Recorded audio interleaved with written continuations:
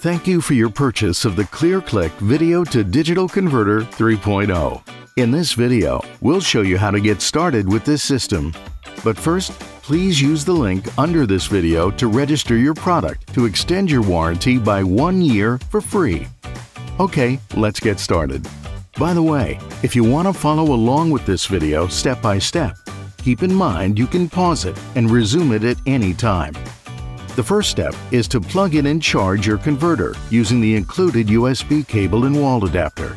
After a few seconds, the device will start up and show the charge level. To fully turn on the device, press and hold the power button. Next, plug in a USB flash drive or micro SD card.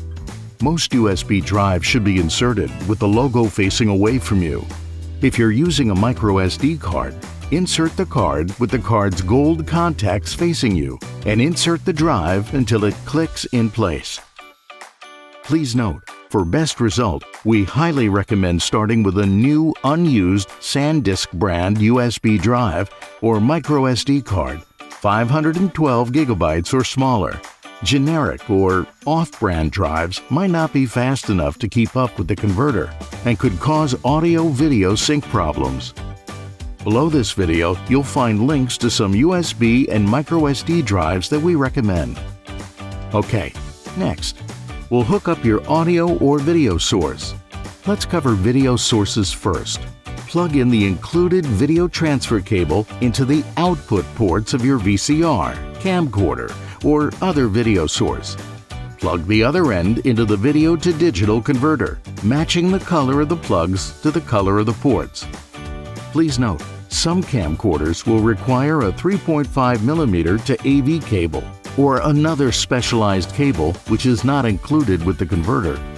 Check your camcorder's user manual or contact us if you have any questions about which cable to buy. Also, some VCRs or camcorders will have an S-video port instead of a yellow video output port. If this is the case, hook up an S-video cable along with the white and red audio cable. In the converter's main menu, change the video source setting to S-video. In some cases, your VCR or camcorder might only have one audio output jack. If this is the case, you will need an audio splitter cable to split the signal into two. See below this video for a link to this kind of cable.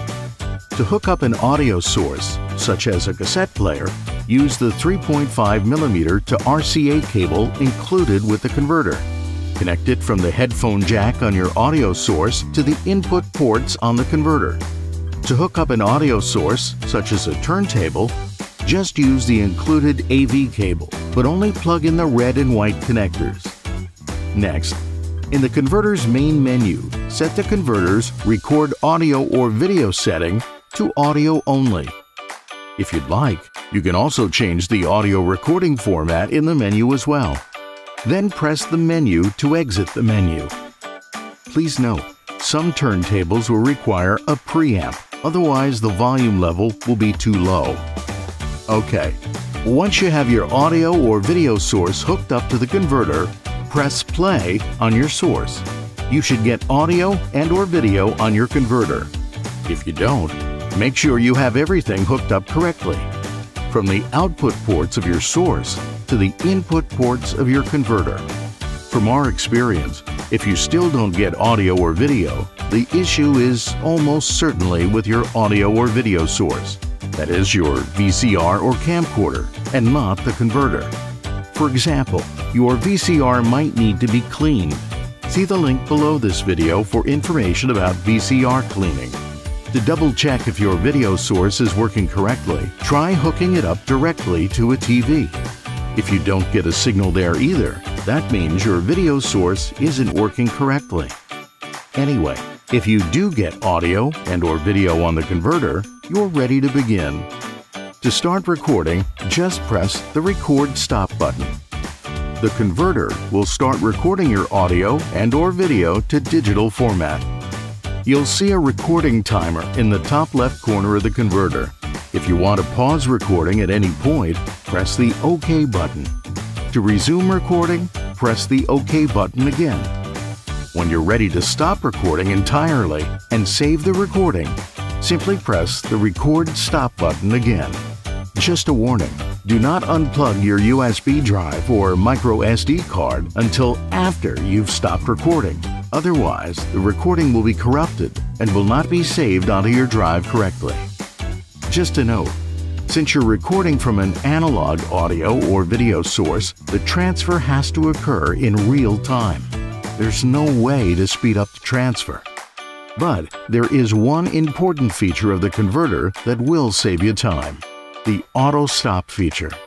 This feature allows you to tell the converter when to stop recording automatically. In other words, this means you don't have to sit and supervise your transfer.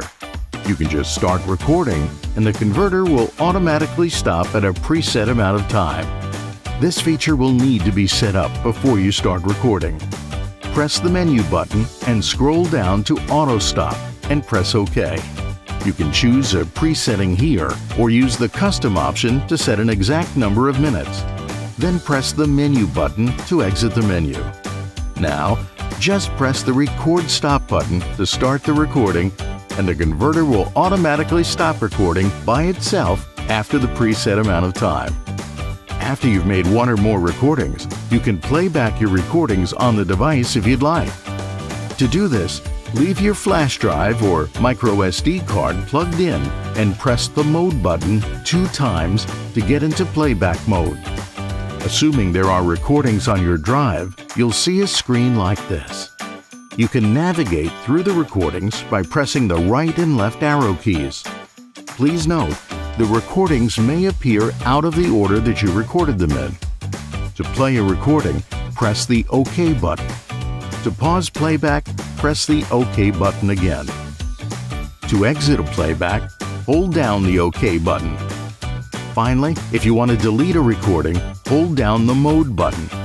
You can also play back recordings on your TV by connecting an HDMI cable to the HDMI out port and plugging the other end into your TV. By the way, this also works while you're recording too, so you can watch your videos on the big screen while they're being converted. To get back to recording mode, press the mode button once or until you see the red camera icon in the top left corner of the screen. Finally, let's discuss how to transfer your recordings to your PC or Mac. This is the easy part. All you have to do is remove your USB or microSD drive from your converter after you've stopped recording and plug it into your PC or Mac. The process is generally the same for PC and Mac, just open or browse the drive as you would with any external drive on your computer. Navigate to the audio folder for audio recordings or the video folder for video recordings. You can double click on a recording to open and watch it. If you purchase the bundle edition of the converter, you can use the included VideoPad software to edit and burn DVDs of your recordings if you'd like. We've also included some links to DVD burning software below this video. Well, that's the end of this video tutorial. Just a note, if you would like a more detailed guide on the converter, please see the user's manual, which we've linked to below. And if you have any questions or issues, please contact us at support at clearclick.tech. Please include your order number in your email and we'll be happy to help. Thanks for watching.